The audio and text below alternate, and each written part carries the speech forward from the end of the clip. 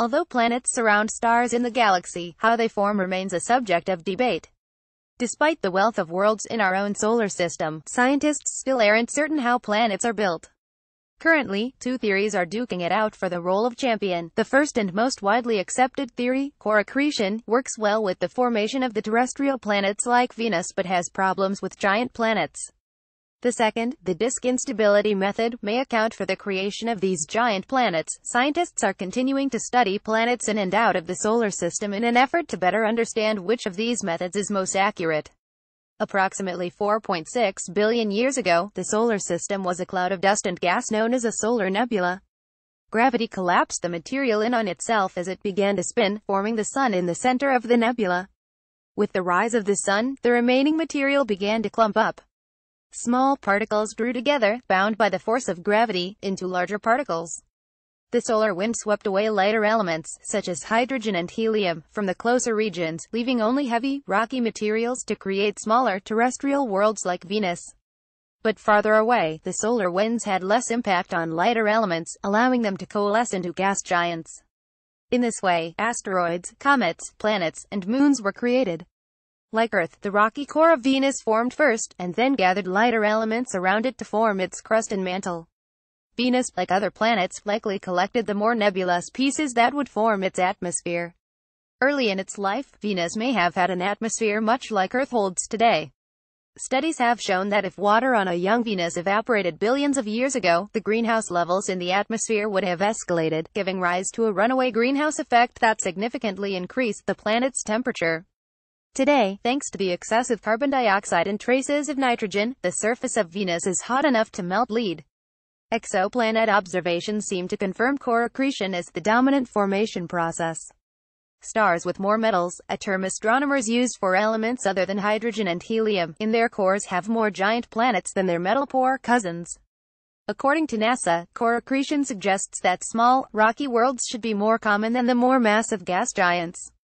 The 2005 discovery of a giant planet with a massive core orbiting the Sun-like star HD 149026 is an example of an exoplanet that helped strengthen the case for core accretion.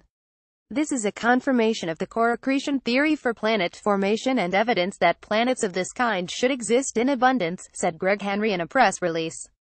Henry, an astronomer at Tennessee State University, Nashville, detected the dimming of the star. In 2017, the European Space Agency plans to launch the Characterizing Exoplanet satellite CHEOPS, which will study exoplanets ranging in sizes from super-Earths to Neptune. Studying these distant worlds may help determine how planets in the solar system formed. In the core accretion scenario, the core of a planet must reach a critical mass before it is able to accrete gas in a runaway fashion, said the CHEOPS team. This critical mass depends upon many physical variables, among the most important of which is the rate of planetesimal accretion. By studying how growing planets accrete material, CHEOPS will provide insight into how worlds grow. Although the core accretion model works fine for terrestrial planets, gas giants would have needed to evolve rapidly to grab hold of the significant mass of lighter gases they contain, but simulations have not been able to account for this rapid formation. According to models, the process takes several million years, longer than the light gases were available in the early solar system.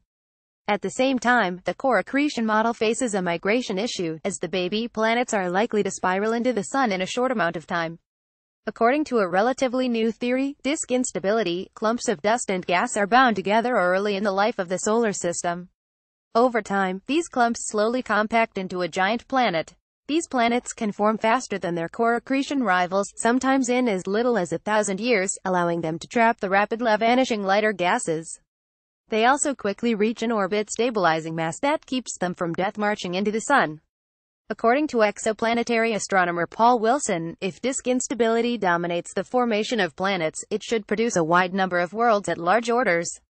The four giant planets orbiting at significant distances around the star HD 9799 provides observational evidence for disk instability. Fomalhaut b, an exoplanet with a 2,000-year orbit around its star, could also be an example of a world formed through disk instability, though the planet could also have been ejected due to interactions with its neighbors.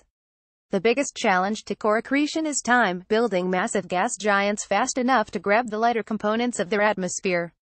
Recent research on how smaller, pebble-sized objects fuse together to build giant planets up to 1,000 times faster than earlier studies.